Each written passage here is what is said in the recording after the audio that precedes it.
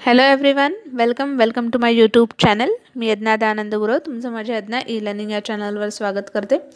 मुलांना आज आपण फिफ्थ स्टँडर्डचा जो E V S part two आहे त्याचा एट्थ चॅप्टर जो आहे बिगनिंग ऑफ सेटल लाईफ तो पाहणार आहोत. त्याआधी ज्यांनी चॅनल सबस्क्राईब नसेल केला त्यांनी प्लीज चॅनल सबस्क्राईब करा बेल आयकनवर क्लिक करा. चला तर मग सुरू करूया आपल्या चॅप्टरला chapter number eight beginning of settle life या चॅप्टरमध्ये आपण जे टॉपिक पाहणार आहोत ते आहेत beginning of doc beginning of domestication of animals and agriculture म्हणजेच पशुपालन आणि शेतीची जी सुरुवात आहे जसं आपण सेवन्थ चॅप्टरमध्ये लास्ट चॅप्टरमध्ये पाहिलं होतं तर ती कुठून झाली? Special skill and various occupations खास कौशल्य आणि वेगवेगळे जे व्यवसाय आहेत ऑक्युपेशन्स आहेत त्याच्याबद्दल आपण माहिती जाणून घेऊया.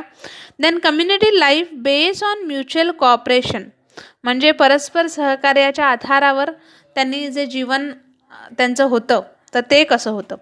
स्ट्रक्चर ऑफ हाऊसेस त्यांच्या घरांची रचना village settlement kinship and family village settlement गाव त्यांचं नातेसंबंध आणि कुटुंब जे आहे याच्याबद्दल आपण आज या चॅप्टरमध्ये या व्हिडिओमध्ये याची माहिती घेणार आहोत. सो फर्स्ट सुरू करूया आपण. Beginning of domestication of animals and agriculture पशुपालन आणि शेतीची जी सुरुवात आहे ती.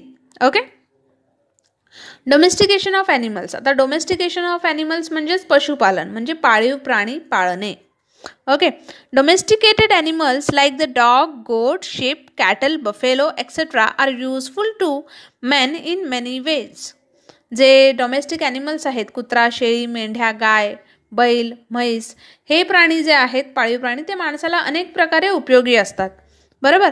There are three main steps in the domestication of a species of any animal एखादी प्राणीची जात जी आहे ती पाळण्यासाठी तीन प्रक्रिया ज्या आहेत त्या मुख्य आहेत. तर त्या कोणत्या? Capture of the wild animals रानटी जनावरांना पकडून ताब्यात घेणं. Then taming the captured animals that is training them to live with humans आणि त्या जनावरांना माणसांसोबत राहण्याचे वळण लावणे. ओके इथे आपण इमेजमध्ये बघू शकतो. एका बाजूला आपल्याला अ मॉडर्न बुल जो आधुनिक काळाचा बैल आहे तो दाखवला आहे तर दुसऱ्या बाजूला आपल्याला a restructure a restriction of ancestor of the modern bull wild bull जो वाईल्ड बुल आहे रानबैल जो आहे तो आपण इथे एका बाजूला पाहतोय. सो सेकंड आहे taming the cal captured animal that is training them to live with humans त्यांना माणसांसोबत राहण्याचं वळण जे आहे ते आपण लावलं पाहिजे. Then third obtaining useful materials like milk etc. from them and training them to work for humans as beast of burden. त्यांच्यापासून दूध इत्यादी जे पदार्थ आपल्याला मिळतात ते मिळवणे आणि त्यांच्यापासून कष्टाची कामे करून घेणे. Okay when the third step is achieve the animal is suppose to be completely domesticated जेव्हा आपण तिसऱ्या स्टेपपर्यंत पोचतो ना तेव्हा तो ॲनिमल जो असतो तो प्राणी जो असतो तो पूर्णपणे पाळीव झालेला असतो. ठीक आहे? पूर्णपणे आपल्याला आपण त्याचं पा पालन करू शकतो. तर अशा पद्धतीचं ते झालेलं असतं. Domesticating animals and keeping them for our own use is called animal husbandry आणि जेव्हा आपण एखाद्या प्राण्याला स्वतःजवळ ठेवतो त्याची काळजी घेतो आणि त्याचा आपण आपल्या कामासाठी वापर करून घेतो तर त्याला ॲनिमल हजबेंडरी असं म्हणतात. Okay Then, in the sixth lesson, we have seen that the dog was domesticated in the Middle Stone Age. Six ले uh, सहाव्या चॅप्टरमध्ये आपण पाहिलं होतं की जे मिडल स्टोन एजमधली जी लोकं होती मध्य अश्मयुगातली जी माणसं होती ती कुत्रा जो आहे ती पाळायची. Okay the dog is the first animal to have been domesticated कुत्रा हा जो आहे हा माणसाने पाळलेला पहिला प्राणी आहे. Okay dogs were used to help with hunting शिकार करताना माणसाचे माणसाने कुत्र्याचे सहाय्य कुत्र्याची मदत जी आहे ती तो घेत होता. The goat and sheep were domesticated next आणि त्याच्यानंतर गोट आणि शिप शेळी आणि मेंढी जी आहे यांचं त्याने पालन जे आहे ते केलेलं आहे. देन लेट्स सी ॲग्रिकल्चर शेती. Archaeological evidence is available to show that agriculture first began about 11,000 years ago in the Israel and Iraq. शेती सुमारे अकरा हजार वर्षापूर्वीचे जे पुरावे आहेत ते आपल्याला प्रथम कुठे मिळाले? तर इस्रायलमध्ये आणि इराकमध्ये सापडले. Sorry women are credited to have started cultivation आणि शेतीची जी सुरुवात आहे ती शेतीची सुरुवात करण्याचं जे श्रेय आहे ते स्त्रियांना दिलं जातं. They might have used pointed sticks to sow seed त्यांनी टोकधार काठी जी आहे याच्या आधारे बी पेरण्याचं जे काम आहे ते त्यांनी त्यावेळेस केलेलं आहे. Women in some tribe still sow seeds by this method in order to help dig deeper into the soil the stick was weighted using the perforated stone आणि काही आदिवासी जमातींमध्ये स्त्रिया अजूनही अशा पद्धतीने पेरणी जी आहे ती करतात. आणि पेरणी करण्यासाठी वापरल्या वापरण्याच्या टोकदार त्या काठीला पुरेसं असं वजन मिळून जमिनीत खोलवर खणता यावं म्हणून त्या काठ्यांना मधोमध छिद्र असलेलं जे दगड आहे ते बसवलं जातं. In the previous lesson we have learn that people had to stay in one place because of the nature of agriculture work आपण आधीच्या चॅप्टरमध्ये हे पाहिलं होतं की माणसांना माणसांना जे आहे ते एकाच ठिकाणी राहणं भाग होतं का तर शेतीच्या कामांमुळे. Okay then agriculture production increase considerably after the plough pulled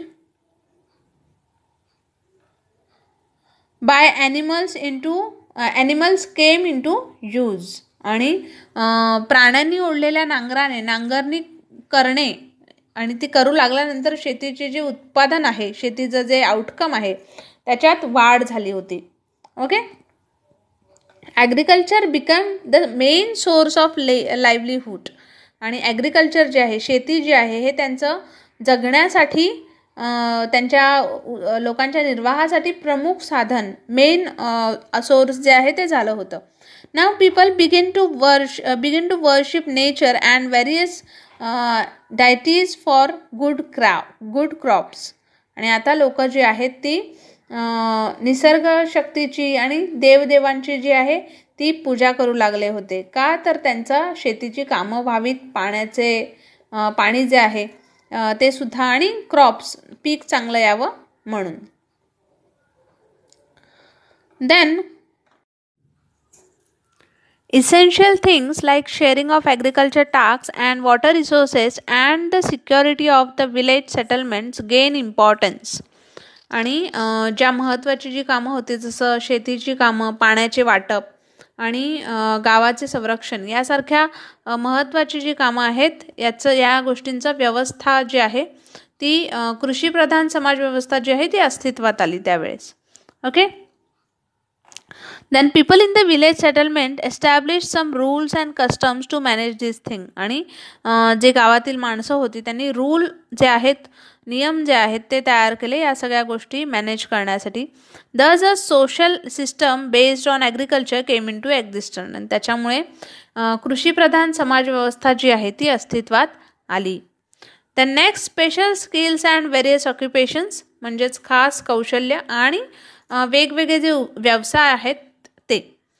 तर in the times before agriculture people obtain food such as meat fruits and roots by hunting and gathering. ॲग्रिकल्चरच्या आधी माणसांना कुठून अन्न जे आहे ते मिळायचं होतं तर शिकार जे आहे शिकार करून किंवा फळं कंदमुळं गोळा करून ते स्वतःचं अन्न जे आहे ते मिळवत होते. But could not store it for a long time पण ते ते अन्न जास्त काळासाठी साठवून ठेव ठेवणं त्यांच्यासाठी पॉसिबल नव्हतं. त्यांच्यासाठी ते शक्य नव्हतं. Therefore all the men and women in the community were continuously engage in getting food आणि त्याच्यामुळे वुमन आणि मेन जे आहेत स्त्री आणि पुरुष यांना फक्त अन्न मिळवण्याच्या कामात सतत ते गुंतलेले असायचे. In the agriculture system it became possi- possible to store food grain for a long period. Agriculture सिस्टममध्ये फूड ग्रेन जे आहे धान्य जे आहे हे साठवून ठेवणं त्यांच्यासाठी शक्य झालं होतं. This was more food available than was needed by the community आणि आता हे जास्त अन्न झालं होतं. जेव जेवढं त्यांची गरज भागून सुद्धा ते अन्न जे आहे ते शिल्लक राहत होतं. धान्य शिल्लक राहत होते. Some woman and men begin begin to get spare time for uh, experimentation and for using their natural creativity to develop special skill आणि आता त्यांना या सगळ्या म्हणजे फक्त अन्न मिळवण्याचं जे काम होतं याच्या व्यतिरिक्तही आता ते दुसऱ्या कामाला स्वतःचा जो वेळ आहे तो देऊ शकत होते. ओके आता इथे खाली आपल्याला इमेजमध्ये दिसते a woman potter with handmade pots एक स्त्री आहे ती मडकं जे आहे ते तयार करते. Okay members with such special skills were given work based on those skill जे मेंबर आहेत ज्यांना हे हे जे स्पेशल त्यांच्यामध्ये हे जे कौशल्य जे आहे ते आहे स्पेशल स्किल आहेत तर ते अशा कामासाठी अशा का ही जी कामं आहेत ती त्यांच्यावर सोपवली जायची. Then there rose crafts like making earthen pots beads, etc., it is believed that in the New Stone Age, women made earthen pots and other earthen uh, objects by hand. आणि भांडी बनवणारे मणी बन मणी बनवणारे यांसारखे कारागीर जे आहेत ते त्यावेळेस तयार झाले मातीची ठीक आहे आणि जे नवाश्म युग आहे जे न्यू स्टोन एज आहे त्या काळात मातीची जी भांडी आहेत किंवा मातीच्या ज्या वस्तू आहेत ते घरातील स्त्रियांनी हातांनी घडवलेल्या होत्या असं मानलं जातं. देन नेक्स्ट आहे community life based on mutual cooperation आता एकमेकांच्या मदतीने जे त्यांचं जीवन जे आहे ते आधारलेलं होतं तर ते कसं होतं ते आपण बघूया. The farmers in the village settlement were now producing surplus food गावातील जे शेतकरी होते ते आता गरजेपेक्षा अधिक अन्नधान्य पिकवत होते. They needed skills craftsman for task like making agriculture implements and repairing them आणि आता त्यांना शेतीची जी अवजारे आहेत ती बनवण्यासाठी किंवा ती दुरुस्त करण्यासाठी आणि इतर अनेक कामांसाठी कारागीर जे आहेत त्यांची गरज भासत होती. Such craftsmen were paid in the form of food grain or other articles हे जे कारागीर होते यांना कामाचा मोबदला म्हणून अन्न अन्नधान्य जे आहे किंवा वस्तू ज्या आहेत त्या त्यांच्या त्यांचा पगार त्यां त्यांचं जे वेज आहे वेजेस आहे तर याच्या स्वरूपात त्यांना हे दिलं जात होतं. The craftsmen needed to obtain the raw material from long distance कारागिरांना विविध वस्तू बनवण्यासाठी जो कच्चा माल लागणार होता तो त्यांना दुरून आणावा लाग लागा लागत होता. The price of raw material was also paid in the form of food grain आणि जे रॉ मटेरियलचं प्राईज होतं जे कच्च्या मालासाठी जे जी काही किंमत ते लोक देत होते ती सुद्धा त्यांना अन्नधान्य किंवा वस्तूची देवाणघेवाण करूनच ते चुकवायचे. Okay thus the barter system of buying and selling was establish आणि याच्यामुळेच जी बार्टर सिस्टम आहे म्हणजे जी देवाणघेवाण खरे खरेदी विक्रीची जी सिस्टम आहे देवाणघेवाण वस्तू घ्या आणि वस्तू द्या. ओके? तर ही सिस्टम त्यावेळेस तयार झाली. The barter system also began to use when there was a need to obtain raw materials finish pro objects other articles of daily use etcetera from other place G barter system आहे या Barton सिस्टमची जी सुरुवात आहे ती सुद्धा कुठून तयार झाली? तर रॉ मटेरियलची जी गरज आहे ती त्यांना भासायला लागली. ओके फिनिश ऑब्जेक्ट देन बाकी ज्या वस्तू आहेत डेली यूजसाठी नेहमीच्या ज्या उपयोगाच्या वस्तू आहेत त्यासुद्धा त्यांना लागायला लागल्या. तर इतर ठिकाणाहून आयात करण्याची जी गरज आहे ती भासू लागली हळूहळू त्यांना. Salt is an essential item मीठ जे आहे तो महत्त्वाचा भाग आहे आपल्या जीवनातला. Then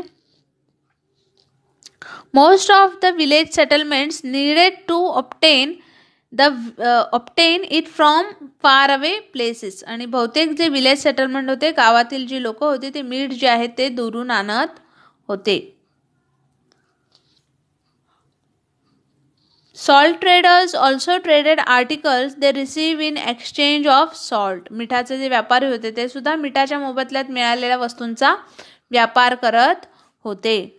The salt trade help the expansion of trade in the new stone age आणि मिठाच्या वापरामुळे न्यू स्टोन एजमध्ये व्यापाराची जो आहे तो विस्तार व्हायला लागला होता. त्याला त्या विस्ताराला मदत मिळाली होती. The village community made rules for mutual cooperation in order to keep this system of trade and distribution of resources running smoothly गावातील व्यापारांची आणि साधन संपत्तीच्या वा वाटपाची जी व्यवस्था होती ती सुरळीत चालावी म्हणून गावातली लोकांनी गावातली लोक आता एकमेकांशी सहकार्य करा करत होते. आणि सहकार्य करावं या या या नियमाचे त्यांनी हा नियम जो आहे तो तयार झाला. The chiefs okay. People responsible for the implementation of this rule become the chiefs of village settlement. माणूस जे आहे त्या नियमांची अंमलबजावणी करण्याची जबाबदारी जी आहे ती ज्यांच्याकडे गेली त्यांना गावाचे कर्ते पण मिळाले. Okay then the chiefs were also interested with the protection of the village this is how the village administrative system came into being evidence of protective walls and most around the village settlements. Of the new stone age has been found in excavations these walls were built to protect the village settlements from, uh, from floods, wild animals and outdoors who stole the village cattle. आणि नवाश्म युगातील जे गावं होती त्या गावांच्या भोवती अनेक संरक्षण भिंती जे होते आणि खनकाचे जे पुरावे होते ते मिळाले आहेत हे पूर जंगली जनावरे तसेच गुरे चोरून नेणारे बाहेरचे लोक त्यांच्यापासून संरक्षण मिळवण्यासाठी या भिंती ज्या आहेत त्या बांधल्या जायच्या. The next structure of houses आता त्यावेळेस घरांची जी रचना आहे ती कशा प्रकारे झाली? The house at the beginning of the new stone age were made of wattle and daub त्यावेळेस जी घरं होती ती कुडाची घरं बांधली जात होती. Then the walls were screen woven from stick to or bamboos. जे वॉल्स होते जी ते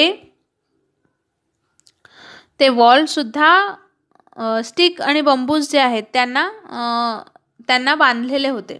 Okay then plastered with mud or cow dung cow म्हणजे शेण कावडंग म्हणजे शेण. ओके शेणाने किंवा मातीने जे आहे ते बाहेरचं बाहेरची भिंत जी आहे ती सारवली जात होती. Later the population of the village settlements grew because food was available in plenty आणि त्याच्यानंतर विलेज सेटलमेंट जे आहे त्याची वाढ होऊन जे पॉप्युलेशन आहे ते हळूहळू वाढू लागलं होतं. Okay the village settlements became permanent and expanded आता विलेज सेटलमेंट जे आहे ते परमनंट झालं होतं.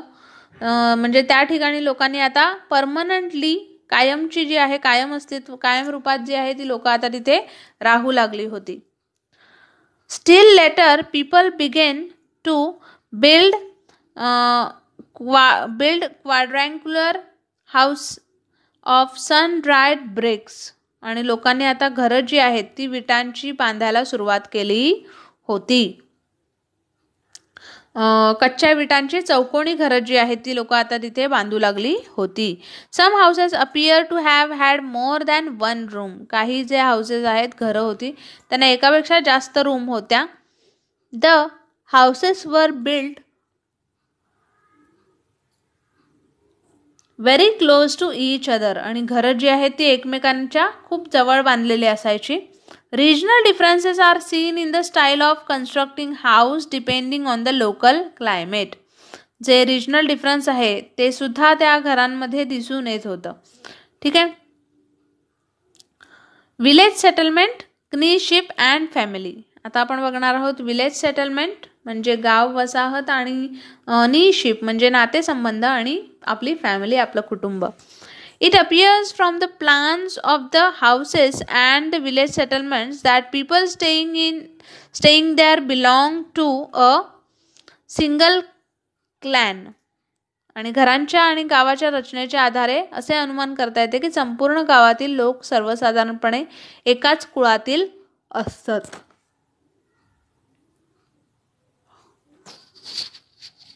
It means that they were all related to one another आणि याचा अर्थ ती लोक जी आहेत ती एकमेकांना एकमेकांचे नातेवाईक आहेत. ओके नातेवाईक होते.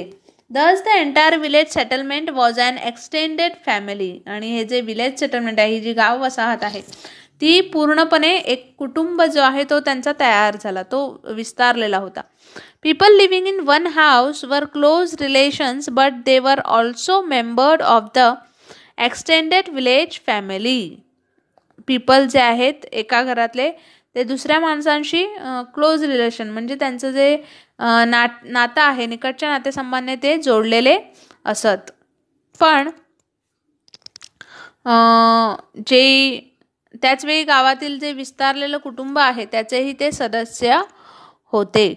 A dead person was buried either in the house or in the courtyard जो मृत व्यक्ती होता त्याला घरात किंवा अंग घरच्या अंगणात पुरत असत त्यावेळेस. Okay then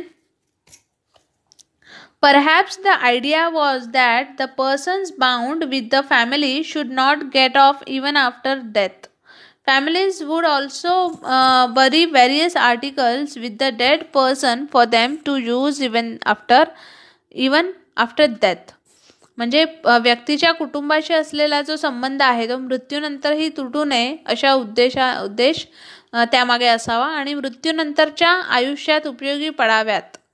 ठीक आहे या समजुतीने या विषय या वस्तूसुद्धा मृतांसोबत पुरण्या येत होत्या पुरण्यात येत असे. ओके? सो फ्रेंड्स इथे आपला जो एट चॅप्टर आहे तो कंप्लीट झालेला आहे. होप तुम्हाला व्हिडिओ जो आहे तो नक्कीच आवडला असेल. व्हिडिओ आवडला असेल तर आम्हाला नक्की कळवा कमेंटद्वारे. तुमच्या काही क्वेरीज असतील तर त्याही आमच्यापर्यंत पोचवा. आणि ऑफकोर्स चॅनल आमचा सबस्क्राईब करा बेलायकनवरही क्लिक करा. चला तर मग भेटूया आपण आपल्या नेक्स्ट व्हिडिओमध्ये तोपर्यंत take care and have a good day